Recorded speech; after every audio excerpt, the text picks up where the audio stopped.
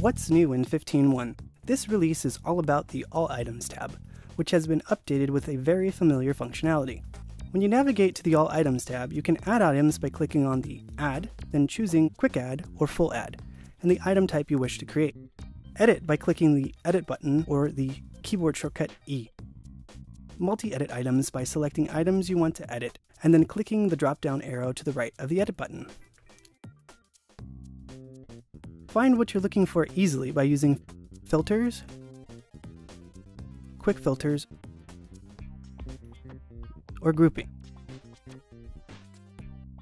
And of course, you can now export your data in the All Items tab. Card View is now available from the All Items tab. To change the workflow of the cards, click on the Workflow columns dropdown and choose your workflow.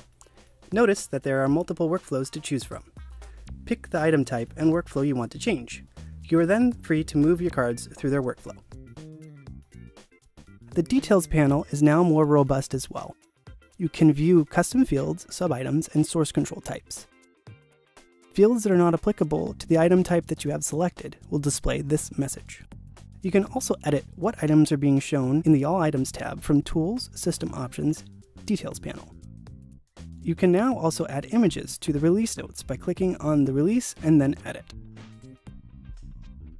Lastly, we've added some love to the style of the dashboard for a fresh new look. This is a look in both dark theme and light theme.